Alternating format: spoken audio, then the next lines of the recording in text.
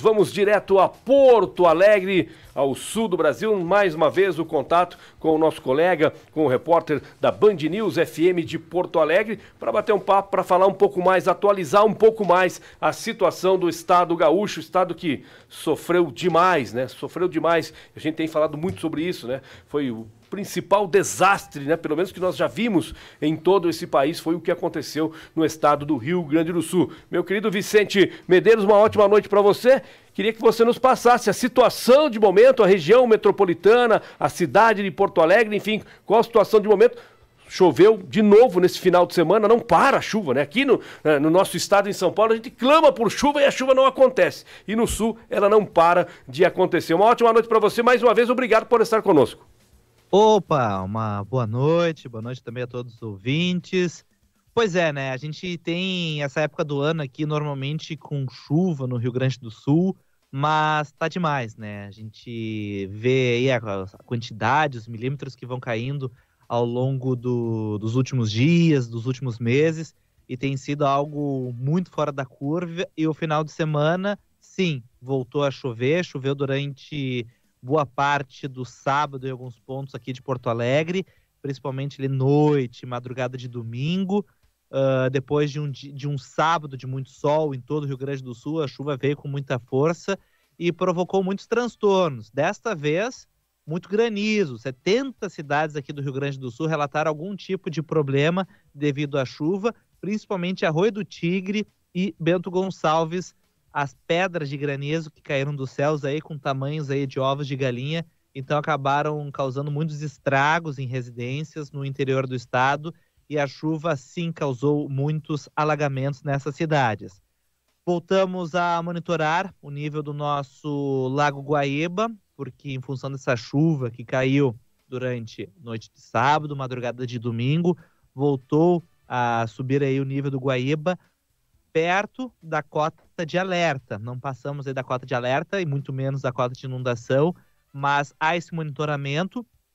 E na região das Ilhas, um bairro que fica afastado aqui de Porto Alegre, próximo ali de Pontes, ali na, na divisa ali de alguns municípios, a cota de inundação lá na região das Ilhas é mais baixa. As famílias que já tinham saído devido a inundações, as chuvas da semana passada, nem conseguiram voltar para casa porque a água não impediu esse retorno. Cidades ali do, de Guaíba e Eldorado do Sul, que ficam do outro lado do Guaíba, Porto Alegre de um lado, Guaíba e Eldorado do Sul do outro lado do lago. Essas cidades ali já monitorando, a Defesa Civil está em alerta para realizar esse atendimento. São ainda 10 mil pessoas que estão fora de casa em todo o estado, estão em abrigo sendo atendidas e o trabalho continua. Os serviços Hoje a gente teve há pouco uma excelente notícia. Lembro que lá em maio comentei com vocês que um hospital chegou a ser fechado devido à inundação. O bairro Menino Deus foi inundado. Esse hospital Mãe de Deus ele foi fechado devido à inundação.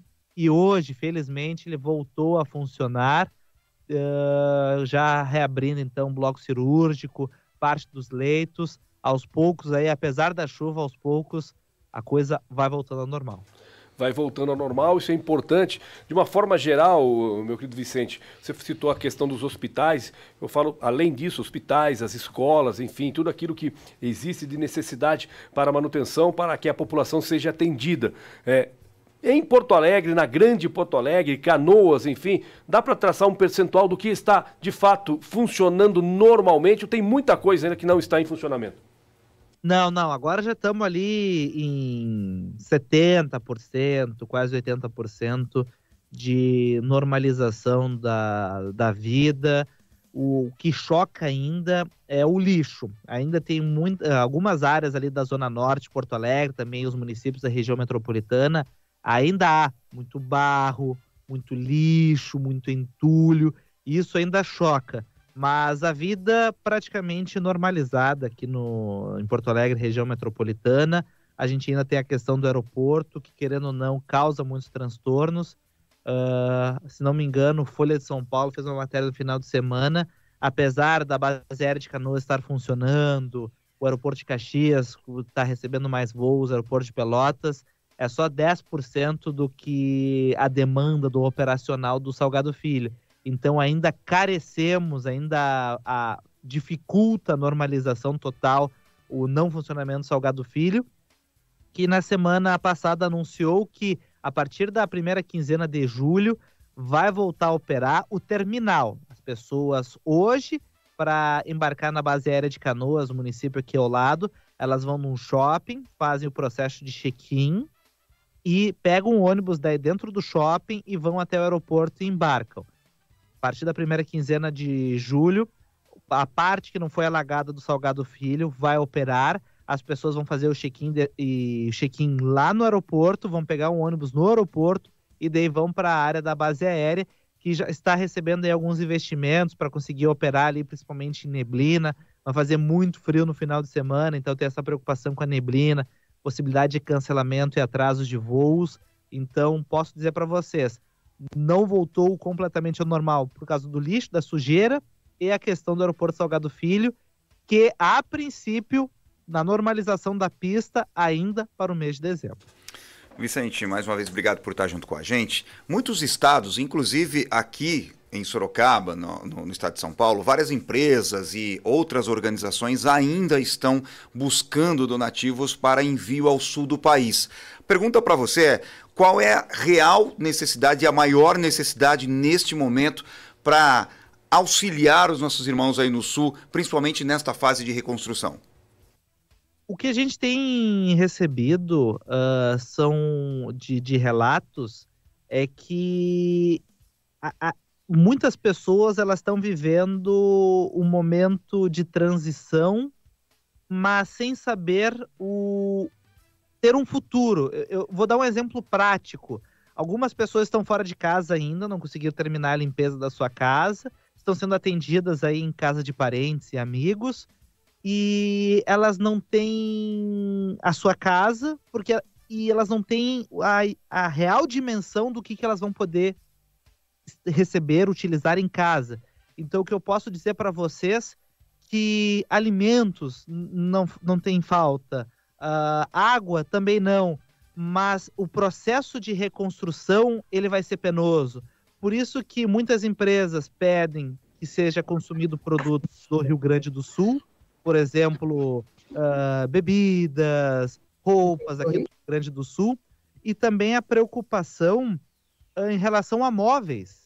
E móveis não tem como a gente daqui a pouco mandar via um caminhão, porque essas pessoas não sabem se vão poder morar naquela mesma casa que foi inundada, que elas estão terminando de limpar, e qual vai ser o investimento nessa casa, se elas vão conseguir comprar um apartamento em outro local. Então, hoje o que a gente precisa são de investimentos, o consumo dos produtos daqui e também a questão do dinheiro para essas famílias poderem reestruturar as suas vidas, suas casas, porque elas ainda não podem recomeçar porque elas não sabem quando elas vão poder se instalar. E daí sim, ah, eu preciso de uma cama, de um colchão, de um armário, de um fogão, de uma geladeira. Então a gente tem que estar no momento assim de os passos lentos para receber a, a necessidade dessas pessoas que ainda estão fora de casa. Vicente Medeiros, repórter da Band News FM em Porto Alegre, sempre conosco, gentilmente aqui participando do Jornal da Band. Claro que gostaríamos de estar falando aqui de coisas mais alegres, né? De tudo aquilo que nós conhecemos de bonito, de bom do estado do Rio Grande do Sul. Eu sou um apaixonado por Porto Alegre sempre que posso visito Porto Alegre e fiquei muito, realmente, chocado. Não eu, né? Todo mundo ficou chocado com o que acontece. Eu fico imaginando você, Vicente, que é um cara da gema, acredito que criado aí com toda a família, né? deve ser um sentimento muito doloroso passar por tudo isso que você, seus irmãos, nossos irmãos, estão passando aí no Rio Grande do Sul. Mas eu agradeço muito a sua participação, a prestação de serviço e suas informações conosco aqui no Jornal da Band. Mais uma vez, muito obrigado. Obrigado, senhores. Até uma próxima.